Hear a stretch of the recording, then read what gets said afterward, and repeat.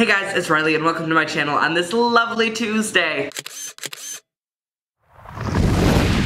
To be honest, filming feels so foreign right now because I skipped a week because I was traveling for Playlist Live. If you can't tell, this is not my normal arrangement. I am actually in Florida right now filming this video. I was just at Playlist Live and there will be more videos about that coming to you soon, but today I wanted to talk to you about being misgendered. What being misgendered basically is, is when you are gendered improperly to the way you identify. This can happen because your presentation might not match the gender that you identify as, or because people tend to assume genders. And it's something that happens at a different frequency for different trans people. Personally, I tend to get misgendered a lot, and I think the reason behind that is because I present very androgynous and somewhat feminine. So people assume that any ounce of feminine traits mean that I am female. And this can happen for the other way around too. This week in particular, I have experienced being misgendered a lot because I was at a theme park and I don't necessarily look hyper masculine all the time, especially when it's hot outside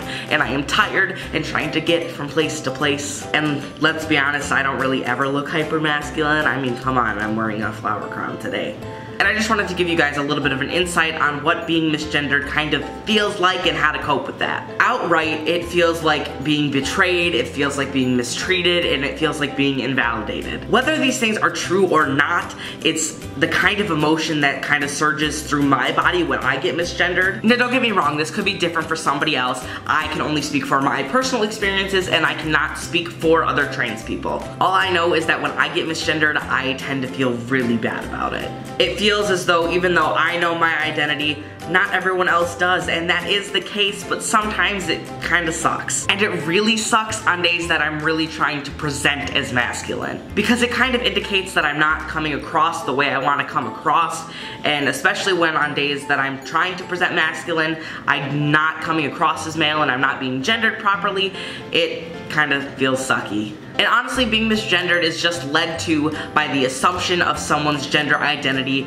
by their perception. I've said this before, I'll say it again, someone's gender may be completely different from how they present. Someone could be wearing a dress and present as male, someone could be wearing cargo shorts and a snapback and present as female. They could look like one gender, look like one gender, and be another, you have no idea. And with that, you don't know someone's pronouns. So usually when someone is misgendered, it's because the person who misgendered you is assuming your pronouns. And while that's not super great, it's not something something we can click our fingers and change the world with. But I feel it's something that trans and cis people alike can work towards eliminating. If we work to try and break down the gender barriers and gender stereotypes and the assumption of someone's gender based on how they look, the world could be a better and safer place for all of us. And here's to those of you who are being misgendered. You don't have to pass as cis to be real or valid. You don't have to look like a guy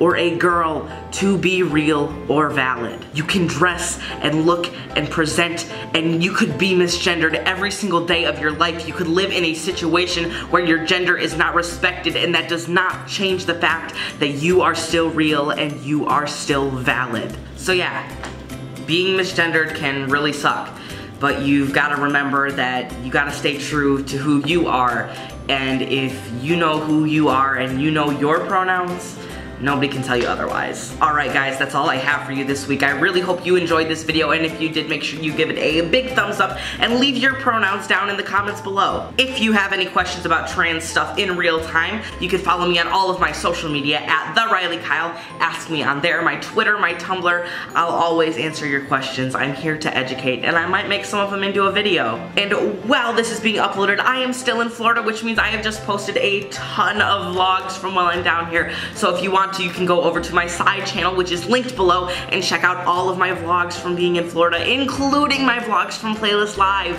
And on a new note, I have officially started a Patreon account, so if you feel like this is something that you'd want to support me and this kind of content that I am making, you can click the link in the description and you can go and figure out how to support me and the content so I can continue making it as good, if not better, than it already is. Alright, that's it. That's all I've got. I love you guys and I will see you on Thursday. Bye!